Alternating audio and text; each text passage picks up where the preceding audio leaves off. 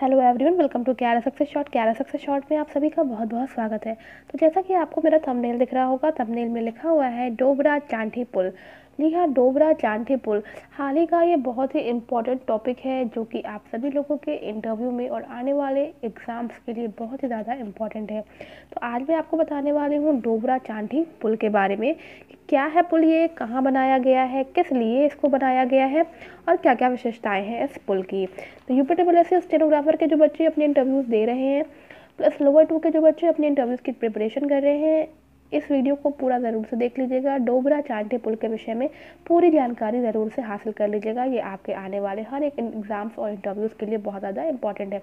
Video को शुरू करने से पहले अगर आप मेरे चैनल पर नए हैं तो मेरे चैनल को सब्सक्राइब कर लें। For the latest notification bell को ज़रूर से हिट कर देंगे। तो चलिए शुरू करते हैं हमारा आज का वीडियो तो बात करते हैं डोबरा चांठी पुल की। तो पहले जान लेते हैं कि डोबरा चांठी पुल ये है कहाँ?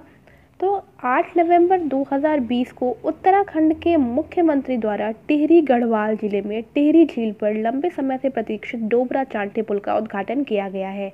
8 नवंबर 2020 जैसा कि आप सब जान रहे हैं, दो दिन पहले की बात है ये खाली।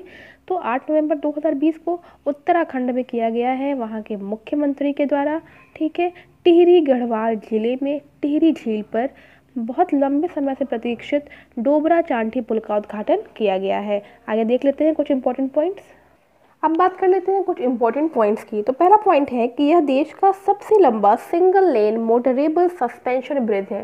तो इसकी क्वालिटी ये ध्यान रखिएगा कि ये पहली बात तो ये भारत देश का सबसे लंबा single lane motorable suspension bridge है। सेकेंड पॉइंट इसका है कि यह ब्रिज जो है वो टिहरी और प्रतापनगर के बीच की यात्रा के समय में डेढ़ घंटे से पाँच घंटे तक के समय की कटौती करेगा, यानी कि बचत कर देगा। ठीक है? कहाँ से कहाँ के बीच में? ये ब्रिज जो है वो टिहरी और प्रतापनगर के बीच में। नेक्स्ट इसका है आपका पॉइंट कि यह पुल जो है वो 725 मीटर लंबा है। तो इस पुल की लंबाई कितनी है? 725 मीटर है, इसे ध्यान देना है। और इस पुल को सार्वजनिक उपयोग के लिए खोल दिया गया है। ठीक है? यानी कि इसे जो है एक तरह से सार्वजनिक कर दिया गया है, अब इस पर जो है लोग आ जा सकते हैं। फोर्थ पॉइंट है, टिहरी झील के ऊपर बने इस सस्पेंशन ब्रिज की लागत 2.96 करोड़ रुपीज़ है। यानी कि यह जो पुल बनाया गया है, टिहरी झील के ऊपर इसकी लागत जो है वो कितनी है? 2.96 करोड़। नेक्स्ट पॉइंट है फिफ्थ नंबर इस सस्पेंशन ब्रिज से टिहरी ज़िले के प्रतापनगर और धौलधार के लगभग ढाई लाख लोगों को लाभ मिलने की पूरी उम्मीद है। ठीक है? यानी कि जब ये ब्रिज बन जाएगा तो इससे प्रतापनगर और धौलधार के लगभग ढाई लाख लोगों को लाभ मिलने की पूरी पूरी संभावना या फिर उम्मीद जताई जा रही है। ये भी जान लें आप कि टेहरी बाँध के निर्माण के साथ प्रतापनगर को जिला मुख्यालय से जोड़ने वाला पुल टिहरी झील में जलमग्न हो गया था और जल वहाँ के जो क्षेत्र के जो स्थानीय लोग हैं, उन लोगों को कम से कम 100 किलोमीटर की अतिरिक्त दूरी तय करनी पड़ती थी और उसके लिए मजबूर होना पड़ता था।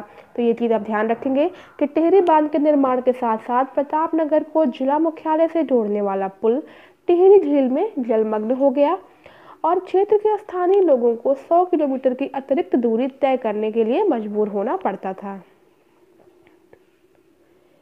नेक्स्ट है कि इसके उद्घाटन के अवसर पर मुख्यमंत्री ने कहा कि डोबरा चांटीपुल क्षेत्र में विकास का एक प्रवेश द्वार होगा। भविष्य में यह स्थान एक प्रमुख पर्यटन केंद्र के रूप में उभरेगा, जिससे स्थानीय लोगों के लिए रोज़गार के साधन भी उपलब्ध होंगे। अब बात करते हैं टिहरी बाँध की। तो भारत का सबसे ऊँचा और दुनिया के सबसे ऊँचे बांधों में से एक है टिहरी बाँध। क्वालिटीज याद रखिएगा, भारत का सबसे ऊँचा और दुनिया के सबसे ऊँचे बांधों में से एक है टिहरी बाँध। यह उत्तराखंड में टिहरी के पास भागीरथी नदी पर बनाया गया है। टिहरी बाँध कहाँ बनाया गया है? ये बनाया गया है भागीरथी नदी के ऊपर। फिर आती है बात उत्तराखंड में अवस्थित टिहरी झील एशिया पे सबसे बड़ी मानव निर्मित झील है, ठीक है? तो उत्तराखंड में जो झील है, टिहरी झील, ये एशिया की सबसे बड़ी मानव निर्मित झील है, इसे भी आपको ध्यान रखना है। अब हम बात करते हैं उत्तराखंड के विषय में। उत्तराखंड का निर्माण ये हुआ था 9 नवंबर 2000 को। राजधानी क्या है? देहरादून, शीत ऋतु में और गैरसैंण, ग्रीष्म में। फिर आती है बात वहाँ के मुख्यमंत्री की। तो मुख्यमंत्री कौन है? वहाँ पे हैं त्रिवेंद्र सिंह रावत, राज्यपाल हैं बेबी रानी मौर्य और राज्य पशु है वहाँ का, यानी कि उत्तराखंड का कस्तूरी मृग। सो so गाइस तो ये टॉपिक आप बहुत अच्छे से तैयार कर लीजिए, क्योंकि हाल ही की खबर है, मैंने बताया आपको 8 नवंबर को इसका उद्घाटन हुआ है और इसे सार्वजनिक कर दिया गया है डोबरा चांठी पुल को। तो आप सभी के लिए बहुत इंपॉर्टेंट है, आने वाले किसी भी आपके इंटरव्यू और एग्ज़ाम्स में ये पूछा जा सकता है। तो पूरी तरह से वीडियो को देख लीजिएगा, बस खाली देखने में ही आपको समझ में आ जाएगा, कुछ लिखने और नोट करने की ज़रूरत नहीं है इसमें। तो आई होप गाइस की वीडियो आपको पसंद आया होगा। वीडियो पसंद आया हो तो वीडियो को लाइक शेयर करें और मेरे चैनल को सब्सक्राइब कर देगा मिलते हैं अपने नेक्स्ट वीडियो में। Take care and bye